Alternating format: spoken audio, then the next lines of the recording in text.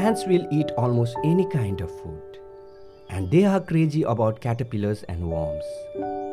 But have you ever wondered why it is so rare to see ants catching and eating leeches? After all, leeches do look juicy and eatable, like caterpillars. Well, the answer lies here.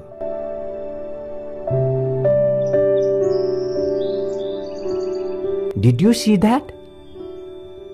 The leech's body seems to be covered in some kind of protective mucus. And every time the ants are trying to bite the leech, their jaws are getting stuck in some sticky mucus.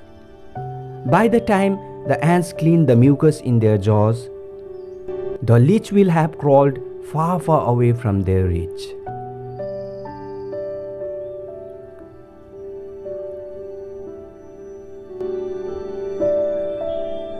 Unfortunately, these maggots do not have any protective mucus like the leeches for its protection.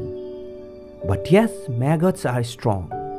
Even three Pheidole ant workers are having tough time in controlling this maggot. Unlike most of the other ants, Pheidole or big-headed ants do not have stings. Instead, they rely on their jaws and cooperative strategy to catch their prey.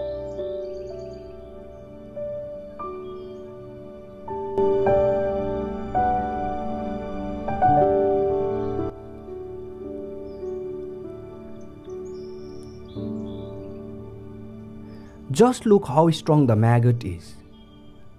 I wonder whether a single Pheidole worker would have been able to catch it.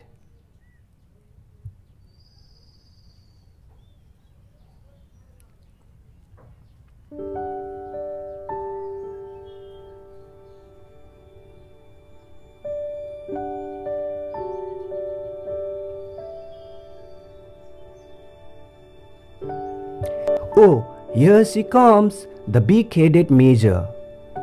The majors have extremely powerful jaws. If the prey is too strong or big, these girls come to do the killing. Oh, the major is trying to grab the maggot, but the maggot is slippery.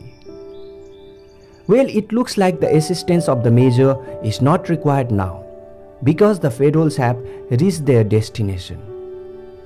Here goes the maggot inside their nest.